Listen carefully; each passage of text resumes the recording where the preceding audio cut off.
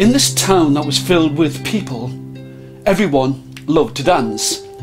They always loved to dance all of the time. Now, there was a proud king who lived in a huge castle.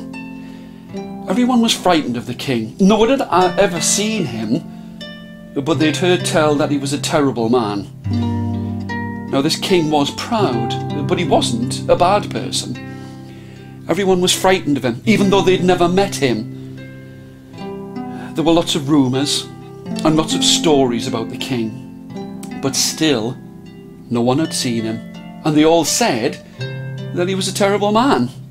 There was a squeaky door that led out of the castle down towards the town. So as soon as the door would squeak open, all of the people would run and hide away from the king. The king thought that the only thing that he could possibly do would be to oil the squeaky door so that it didn't squeak backwards and forwards. And that's just what he did. But he forgot to take off his crown. He forgot to take off his cloak. So if anybody saw him, then they would have known that he was the king.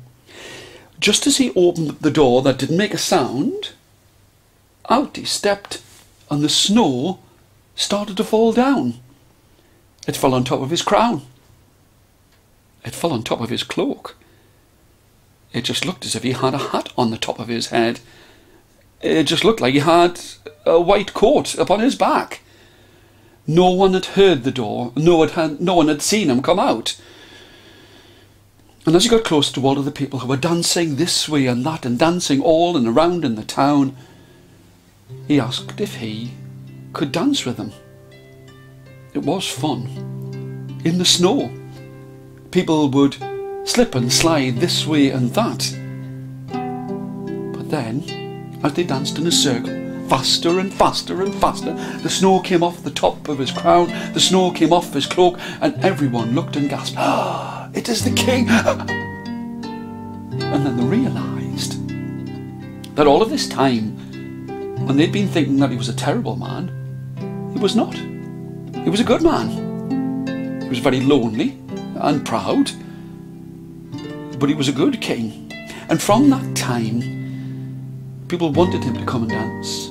They realised how good he was and how foolish they'd been to think that he was a terrible man without having even met him. Now if you go to that place, you'll see that there is a castle with a door that opens and closes, and people who go in and out of that place. And in the middle of the square outside of the castle, everyone dances, including the king.